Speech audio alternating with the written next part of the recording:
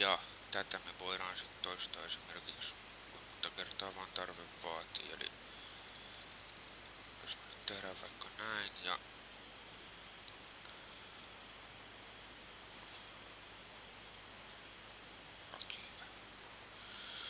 niin tota, poistetaan täältä kaikki ylimääräiset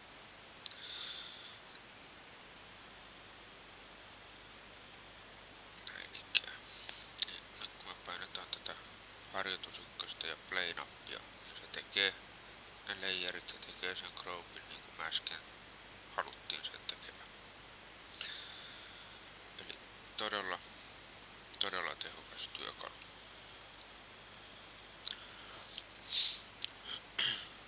Mutta eikö me näin tylsää harjoitusta tehdä.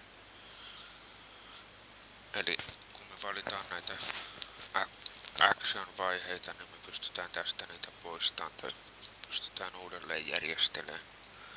Eli periaatteessa mä poistin kaikki mun paitsi tämän harjoituksen, mutta jos käy niin, että poistaa sen, niin painaa vaan tuosta uutta actionia ja kirjoittaa tähän sen harjoitus yksi uudestaan.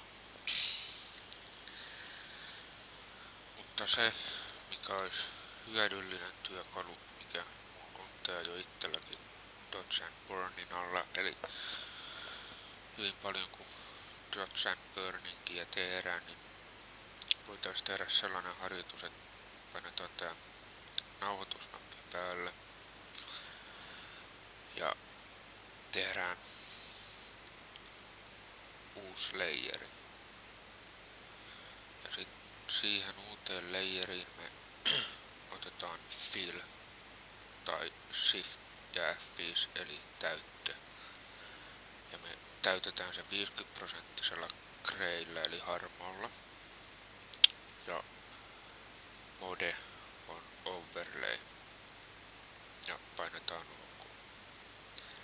Ja nyt kun me katsotaan, niin täällä on kaikki ne tiedot tallessa, eli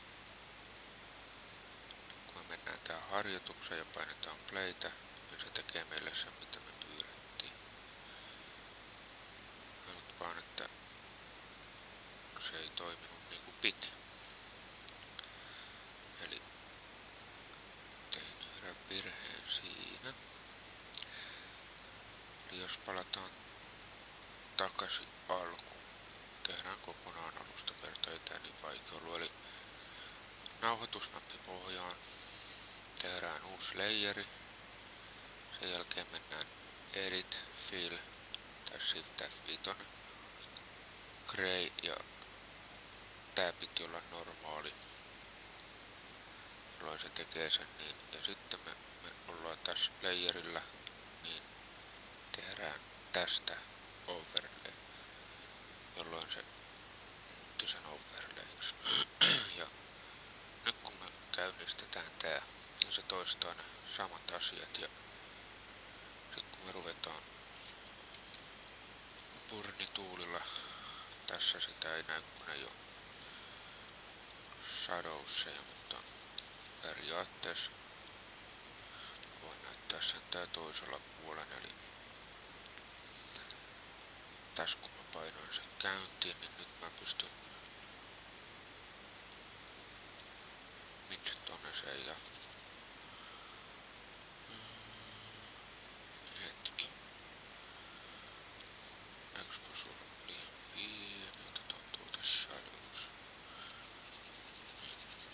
vahventaa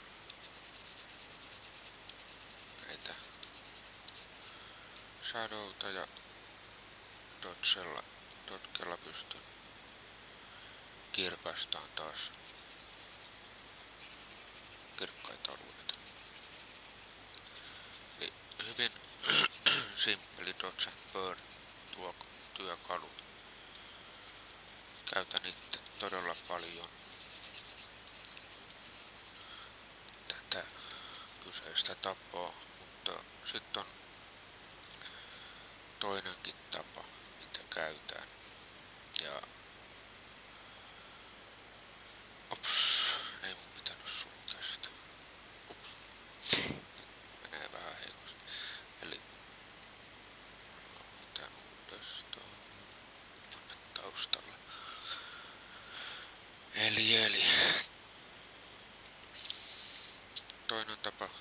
tehdä Dodge and Burn on. Sitä mä en voi kannattaa kuin valokuvalla. Ja tästä pitää sanoa sen verran, että tän tekeen äh, PH Learning äh, oppien kautta, koska varmaan 90 prosenttia kaikesta mitä mä oon viime aikoina oppinut, niin on sieltä tullut, joten näissä on hyvin paljon vaikutteita myös siitä, mitä heiltä on tullut.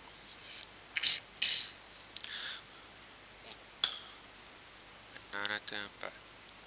Eli kun meillä on tämä harjoitus 1, niin me voidaan painaa taas tätä uutta nappia ja kirjoittaa tämä harjoitus 2. ja siellä on nauhoitusnappi jo valmiiksi päällä. Eli nyt me tehdään tästä layerista kopio. Eli painetaan Ctrl ja J. Eli layer via kopio ilmestyy tänne. Sen jälkeen me mennään filteriin, otetaan High Pass Filter. Ja tähän me annetaan hitsin päivistä. Tähän me annetaan, koska pienellä arvolla me pystytään overlaylla tuomaan niin sanottua tarkkuutta kuvaan näkyviin lisää. Kun me vedetään tarpeeksi tänne kauas tai isoksi tämä lukuarvo, niin se ei keskitty enää pieniin alueisiin, vaan isoihin alueisiin. Ja näissä isoissa alueissa me pystytään käyttämään hyväkseni, hyväkseen tota eri blend modeja, eli layerin toimintatapoja, tason näkyvyystapoja. Anteeksi jänkytys. No, kuitenkin. Tästä kun me painetaan OK, niin ei näytä kivalta. Sitten kun me painetaan täältä Overlay, niin siinä on jo automaattinen Dodge Burnin valotukselle. Ja sitten kun me otetaan tälle Ctrl ja J, niin me tehdään taas kopio. Muutetaan tää darkening, darkening tasoksi ja vedetään opacity alaspäin. Ongelma tässä on nyt se, että jos me ei tykätäkään 27 prosentin opacitystä, niin me joudutaan viemään takas 53. Ja jos ei sekään näytä hyvältä, me joudutaan 21 tai 72, 75. Ja kuten huomaatte, niin tämä lista kasvaa koko ajan. Jolloin se tarkoittaa sitä, että siinä listalla vaihtelee eri arvoja ja yrittää asettaa niitä niin kuin mulla on äsken näytetty. Mutta koska me emme halua toimia niin, ups,